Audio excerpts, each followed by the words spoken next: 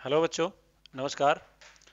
प्यारे बच्चों, आज हम thirteen chapter surface area and volume शुरू करने जा रहे हैं। और उसके बाद लगभग हमारे सारे चैप्टर कवर हो गए हैं, ठीक है? इसके बाद मैं कोशिश करूँगा कि मैं थर्टीन चैप्टर के बाद आपको टेन चैप्टर करवाऊं, ठीक है? चलिए। अब सबसे पहले हम थर्टीन चैप्टर शुरू करने जा रहे हैं, जिसके अंदर सबसे पहले कुछ छः सात फिगर यानी थ्री फिगर के फॉर्मूले जानने की ज़रूरत है, जैसे क्यूब क्यूबॉइड ठीक है? कोन ठीक है? सिलेंडर स्फेयर हेमिस्फेयर इस तरीके से। तो आइए पता करते हैं सबसे पहले। सबसे पहले पता करेंगे क्यूब घन। बच्चों, घन कुछ इस टाइप का होता है।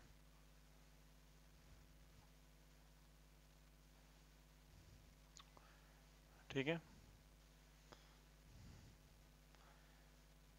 बच्चों, इसकी लेंथ भी ए होती है ब्रेथ भी ए होती है और हाइट भी ए होती है। ठीक है? तीनों ए होते हैं। लेंथ भी ब्रेथ भी हाइट भी। तीनों क्या होते हैं बच्चों? ए तो जब लेंथ भी ए हो ब्रेथ भी ए हो साइड भी ए हो मतलब तीनों के तीनों सेम हो। तीनों के तीनों क्या हो बच्चों? सेम हो। तो ऐसी सिचुएशन में वर्ड आता है सबसे पहले volume of volume of cube घन का आयतन। क्या आता है? घन का आयतन। और बच्चों, आयतन क्या चीज़ होती है? अभी जैसे आपके सामने कोई भी टेबल रखी होगी तो उसकी लेंथ, उसकी ब्रेथ, उसकी हाइट कुछ ना कुछ होगी। अब उसने उतनी जगह कवर कर ली। ऊपर, हाइट में भी लेंथ में भी, ब्रेथ में भी। उसकी जगह पे और कोई जगह प्लेस नहीं कर सकते हो। हाँ उसके अंदर आपने स्लॉट्स बना रखे हैं, आप उसके अंदर कुछ रख रहे हो, वो एक अलग बात है। लेकिन आप अब उस जगह पे कोई दूसरी जगह प्लेस नहीं कर सकते हो। कोई दूसरी चीज़ प्लेस नहीं कर सकते हो। ठीक है? तो वो हो गया आपका वॉल्यूम ठीक? तो इसका, अब देखिए बच्चों, अगर मैं बात करूँ, ये भी ए ये भी ए तो भाई मतलब लेंथ भी ए है ब्रेथ भी ए है। तो भाई, इसका एरिया ए स्क्वायर क्योंकि क्यूब के सारे सरफेस स्क्वायर शेप में होते हैं। तो टोटल सरफेस होते कितने? अपने जिस भी कमरे में अभी आप बैठे हो उसके सरफेस गिन लो कितने। एक आपके सामने होगा एक आपके पीछे होगा। एक ऊपर एक नीचे। एक आपके लेफ़्ट साइड एक आपके राइट साइड। ठीक है तो दोनों तरफ़ होगा। ठीक है तो अपने कितने? छह सरफेस। तो यानी जब स्क्वायर सरफेस है स्क्वायर का एरिया होता है ए स्क्वायर। और टोटल सरफेस कितने? एक दो तीन चार पाँच छ तो यानी कि सिक्स ए स्क्वायर। ठीक है? इसके बाद आता है आ, इसके बाद क्या आता भाई? सॉरी वॉल्यूम मैं तो सरफेस एरिया बता दिया। सॉरी बच्चों सॉरी वॉल्यूम होता है ए क्यूब वॉल्यूम होता है ए क्यूब लेंथ ब्रेथ और हाइट अगला आता है surface area surface area of cube sorry ये बोल दिया मैंने। ये था वो सिक्स ए स्क्वायर मतलब क्या? इसका एरिया इसका एरिया एक का एरिया ए स्क्वायर तो छह सरफेस है तो सिक्स ए स्क्वायर ठीक है? घन का पृष्ठ क्षेत्रफल घन का पृष्ठीय क्षेत्रफल। ठीक है? अगला lateral surface area lateral surface area area of cube ठीक है? घन का, घन के चार दीवारी का क्षेत्रफल। घन के चार दीवारी का क्षेत्रफल। ठीक है जी? तो कितना होगा? बच्चों, चार दीवारी मतलब एक, दो, तीन, चार चार दीवार होते हैं तो एक का ए स्क्वायर तो चार का चार ए स्क्वायर। ठीक है? अगला आता है क्यूबॉइड मतलब घनाभ। ठीक है? घनाभ में लेंथ, ब्रेथ और हाइट, तीनों लगभग क्या होती है बच्चों? अलग अलग होती है।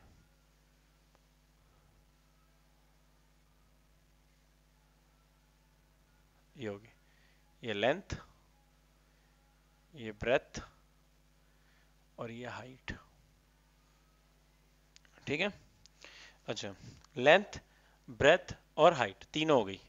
ठीक है जी? अब देखो तो अब ऐसे में volume of volume of cuboid कितना होगा बच्चों? Length into breadth into height ठीक है? घनाभ का आयतन। अगला सरफेस एरिया ऑफ़ क्यूबॉइड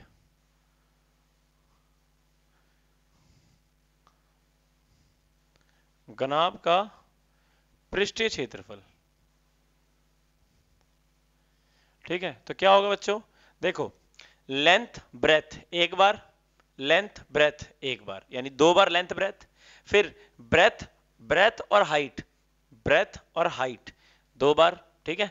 उसके बाद क्या होगा भाई? लेंथ और हाइट लेंथ और हाइट तो मतलब दो बार. यानी कि चाहे मैं लेंथ ब्रेथ ले लूँ, चाहे मैं ब्रेथ हाइट ले लूँ, चाहे मैं लेंथ और हाइट ले लूँ.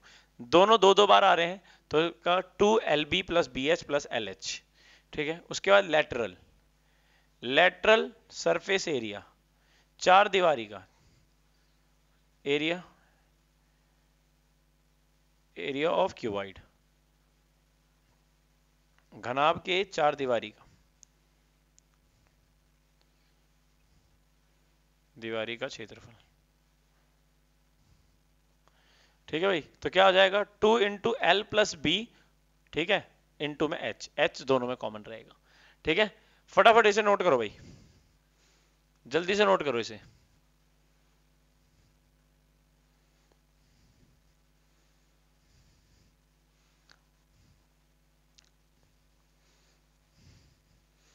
कर लिया नोट? चलो।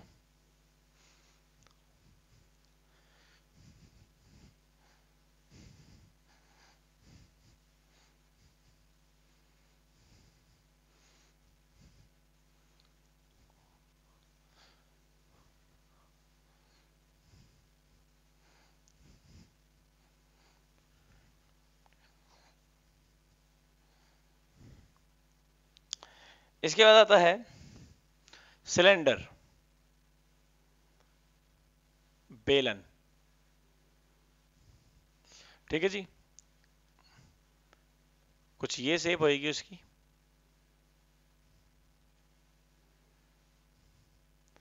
इसका एक रेडियस होगा आर और ये हाइट होएगी एच ठीक है? तो चलिए। Volume of cylinder. तो क्या होगा? Pi R square H. ठीक है? क्यों? क्योंकि वॉल्यूम क्या? जितना एरिया है उसके साथ साथ हाइट। तो सर्कल का एरिया पाई आर स्क्वायर और हाइट एच। ठीक है? बेलन का आयतन।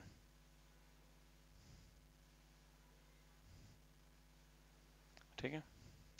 अगला है curved surface area of cylinder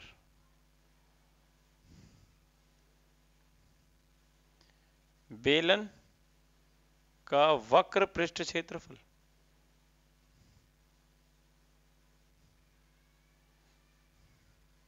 बेलन का वक्र पृष्ठ क्षेत्रफल। तो क्या बनेगा? टू पाई आर, क्योंकि देखो, कर्व ये है ना, ये हिस्सा कर्व है, यानी सर्कल के चारों तरफ़ टच। तो सर्कल का चारों तरफ़ क्या होता है भाई? Circumference two pi R. अब जितनी हाइट है, उतना तो टच करोगे तो टू पाई आर एच। ठीक है? अब आता है total curve surface area, total curve surface area of cylinder. ठीक है? बेलन का कुल पृष्ठ क्षेत्रफल, कुल पृष्ठ क्षेत्रफल। ठीक है? तो कितना है भाई? देखो, टू पाई आर एच, ये तो चारों तरफ़ का है, ऊपर नीचे दो सर्कल तो दो सर्कल का टू पाई आर स्क्वायर तो टू भी कॉमन पाई भी कॉमन आर भी कॉमन एच प्लस आर ये आपका क्या बच गया भाई? ये आपका आ गया, ये आपका आ गया total curve surface area of cylinder ठीक है? नेक्स्ट नेक्स्ट बच्चों, कोन. कोन मतलब शंकु. शंकु कैसे बनता है बच्चों? जब सिलेंडर में से ही हम ऐसे स्लांट हाइट काट के निकाल लेते हैं। ठीक है? तो वो कुछ इस तरीके से बनेगा। ये चीज़, यानी आपकी बर्थडे वाली टोपी या आइसक्रीम का कोन, ठीक है? इसमें ये रेडियस, ये हाइट और ये स्लांट हाइट, ठीक है? एल बराबर स्लांट हाइट, ठीक है? स्लांट हाइट का मतलब क्या भाई? स्लांट हाइट का मतलब तिरक ऊंचाई ठीक है? अच्छा अब स्लांट हाइट जो है बच्चों, अगर मैं आपको बताऊँ स्लांट हाइट का रिलेशन क्या होता है एच और आर के साथ? तो भाई ये 90 डिग्री है। तो देखो 90 डिग्री के सामने वाला हाइपोटेनियस होता है ना तो इसका मतलब एल का स्क्वायर बराबर, ये परपेंडिकुलर एच का स्क्वायर ये बेस आर का स्क्वायर तो ये रिलेशन होता है। ठीक है? एल स्क्वायर बराबर H square plus R square मतलब अगर एल की वैल्यू निकालनी है तो स्क्वायर वहाँ ले जाओ under root H square plus R square ये बन गया। अगर h की वैल्यू निकालनी है तो आर स्क्वायर को इधर ले जाओ L square minus R square और अंडर रूट ये बन। और अगर r की वैल्यू निकालनी है तो L square minus H square under root ये हो गया। तो ये तीन वन बनेगी। ठीक है?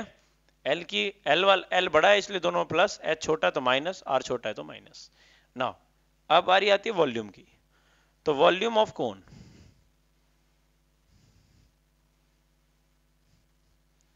Volume of cone शंकु का आयतन। हाँ जी तो कितना भाई? यानी ये देख रहे हो अब सिलेंडर के तीन हिस्से कर दिए मैंने, एक, दो और तीन। तीसरा हिस्सा तो मतलब सिलेंडर के आयतन का, यानी one by three pi R square H, यानी जो सिलेंडर का वॉल्यूम है, उसी का वन बाय थर्ड हिस्सा। ठीक, अगला। Curved surface area. Area of cone शंकु शंकु का वक्र पृष्ठ क्षेत्रफल। तो कितना है? Pi R. और किसको छुओगे? इसके कर्व वाले पार्ट को, यानी एल पाई आर एल ठीक है? पाई आर एल फिर total curve surface area total curved surface area कुल वक्र पृष्ठ क्षेत्रफल। ठीक है? बराबर? क्या आएगा भाई? पाई आर एल तो है ही, प्लस पाई आर स्क्वायर। ठीक है? तो पाई और आर कॉमन आ गया, एल प्लस आर। पता ना पाई आर क्यों आया, पाई आर स्क्वायर? क्योंकि नीचे सर्कल है, पाई आर स्क्वायर। ठीक है? इस तरीके से। तो ये बन गया। इसके बाद आता है स्फेयर इसके बाद क्या आता है? स्फेयर हिंदी में गोला. अब देखो स्फेयर में बना तो सकता नहीं. स्फेयर में बना तो सकता नहीं, इसलिए मैं आपको बता दूँ कि जो स्फेयर होता है ना बच्चों, जो स्फेयर होता है, वो आपका हो गया फुटबॉल क्रिकेट बॉल बास्केटबॉल ठीक है? तो जितने भी बॉल होते हैं, गेंद होते हैं, वो सारी, ठीक है? तो ये इसका अपने आप में रेडियस हो गया और इसके रेडियस का डबल रेडियस का डबल ही हाइट होता है। हाइट क्या होती है इसकी? रेडियस की डबल। हाइट क्या होती है इसकी? रेडियस की डबल। तो इसका आता है वॉल्यूम वॉल्यूम ऑफ़ स्फेयर। गोले का आयतन, गोले का आयतन। तो होता है चार बटा तीन पाई आर क्यूब, क्योंकि हाइट वाइट का कोई लेना देना नहीं है। अगला, सरफेस एरिया ऑफ़ स्फेयर। ठीक है? गोले का पृष्ठ क्षेत्रफल। अब सुन लो। अब गोले का पृष्ठ क्षेत्रफल बोले या टोटल सरफेस एरिया बोले? टोटल पूछे चाहे सरफेस एरिया बात एक ही है। ठीक है? तो क्या होता है? Four pi R square. क्या होता है? Four pi R square. तो चाहे सरफेस एरिया बोल दे, चाहे टोटल सरफेस एरिया बोल दे। बात एक ही है भाई। ठीक है? नोट कर लो इसको जल्दी से फटाफट।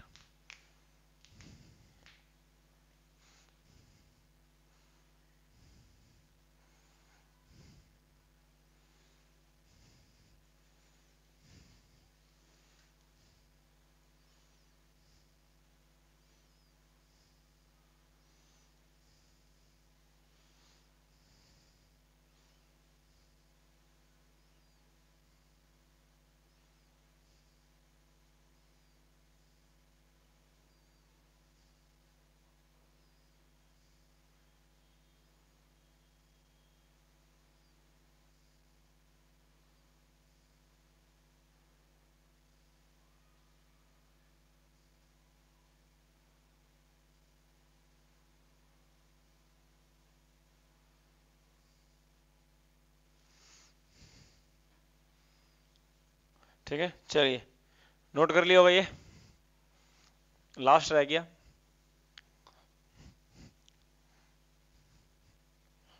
लास्ट क्या रह गया? हेमिस्फेयर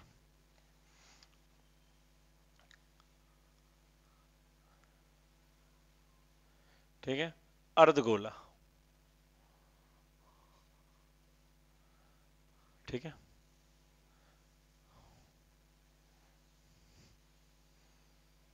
ठीक है? तो अर्धगोला क्या होता है बच्चों? कुछ ऐसा, कटोरे जैसा होता है। ठीक है? ये रेडियस और ये हाइट जितनी रेडियस उतनी हाइट हाइट जो होती है रेडियस के बराबर ही होती है। ठीक है? चलो। तो हाँ जी volume of hemisphere volume of hemisphere अर्धगोले का आयतन। तो वहाँ four by three pi R square था तो ये कितना हो जाएगा? टू पाई बाय क्यूब ठीक है? हाफ़ हो गया ना? अगला surface area surface area of hemisphere कितना हो जाएगा भाई? वो फोर पाई आर था, ये टू पाई आर स्क्वायर हो जाएगा। ठीक है? अर्धगोले का वक्र पे क्षेत्रफल। अर्धगोले का वक्र पे क्षेत्रफल। ठीक है? टोटल टोटल, सॉरी, यहाँ पे आएगा, कर्व आएगा भाई। Curved surface area total curve surface area curve surface area ठीक है? कुल वक्र पृष्ठ क्षेत्रफल। तो कितना आएगा भाई? देखो, टू पाई आर तो ये नीचे नीचे का, ऊपर एक सर्कल भी है तो टू पाई आर और एक pi R three pi R square कितना हो जाएगा? थ्री पाई आर स्क्वायर कोई दिक्कत? चलो नोट कर लो इसे।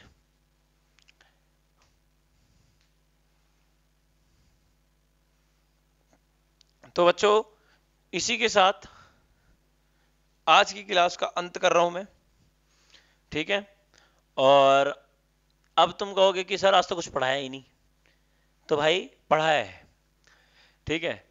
ये जो सारी चीज़ें है ना, ये अभी आपको लग रही होगी कि, यार, ये तो इतना सा पढ़ा के चल दिए। लेकिन इतना सा नहीं है, ये बहुत कुछ है इसमें। ठीक है? इसको आपको तीन बार करना है, जिसमें से दो बार करना है देख के और एक बार करना है बिना देखे। आप कहोगे क्या, सर, एक ही बार में सारे फॉर्मूले याद करने तो हाँ जी, करने हैं। क्योंकि जब 13.1 में शुरू करवाऊँगा तो इन सारे फॉर्मूलों की ज़रूरत एक साथ पड़ेगी।